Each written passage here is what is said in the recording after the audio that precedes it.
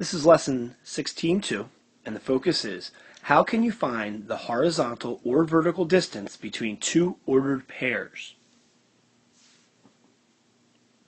You have learned that ordered pairs name locations on a coordinate grid. Today you will learn how to use ordered pairs to find length or distance between them. I want you to think about when would you need to find the difference between coordinate points? Please pause and think about that question. One possibility might be when you're trying to find the distance between two locations, or when you're trying to find the difference between the size of similar shapes on a coordinate grid. Please use your 10 by 10 grid to work on the following problem. In planning a miniature village, Glenn plotted the post office at 0, 7, the hospital at 5, 7, the school at 3, 1, the library at 3, 6,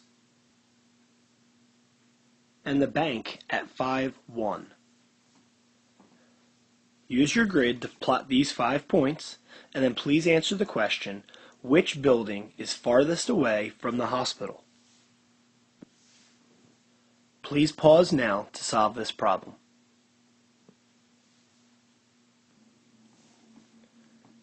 Please compare your grid to the one on the screen. Remember that the x value in an ordered pair represents the horizontal distance and the y value represents the vertical distance. In an ordered pair, the x value comes first, followed by the y value. If you need to correct any points on your grid, please do so now. Looking at the five ordered pairs, I want you to think about what are some of the similarities between the ordered pairs? Please pause now and come up with any similarities you can between these pairs. You may have noticed that the post office and the hospital share the same Y value of 7.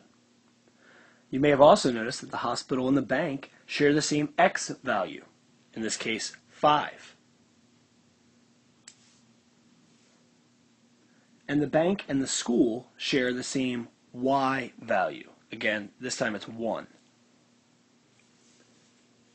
Looking at your grid, you may find it easy to figure out which building is the furthest from the hospital. However, we need to prove it mathematically.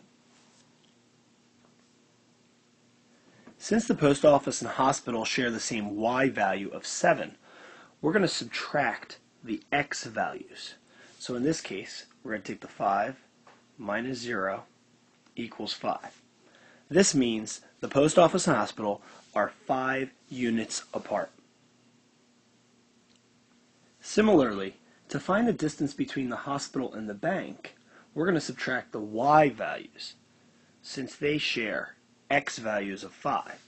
So 7 minus 1 gives us 6. So the bank and hospital are 6 units apart. Next, we can compare the bank and the school since they share a y value of 1.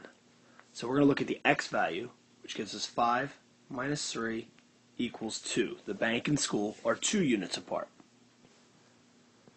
We can also notice that the school is 2 units away from that y coordinate that the hospital and bank shares. And from our graph, we can clearly see that the library is closest to the hospital, so we can eliminate that as a possibility. So, which building is the farthest from the hospital? According to this reasoning, the school will be the furthest from the hospital. Let's go to our graph to check to see if that's correct.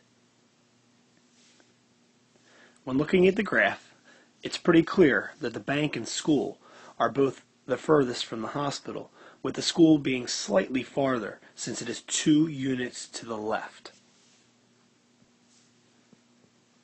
So to get back to the focus question, how can you find the horizontal or vertical distance between two ordered pairs? If the x coordinates are the same, you're going to subtract the y coordinates. If the y coordinates are the same, you're going to subtract the x coordinates.